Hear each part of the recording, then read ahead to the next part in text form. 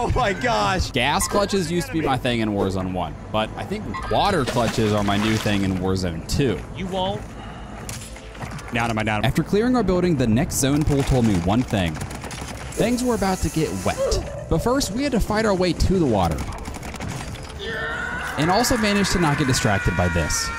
King with $100 dodo. Oh my god! Hold on! Being completely surrounded by my enemies, my goal was to only come above surface when absolutely necessary.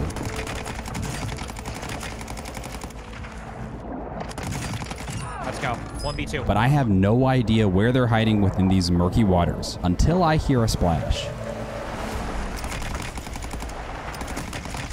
I'm able to knock one and immediately go back under to reload. Now it's just a 1v1 for the win, and I gotta say, these anime tracers were not helping the cause.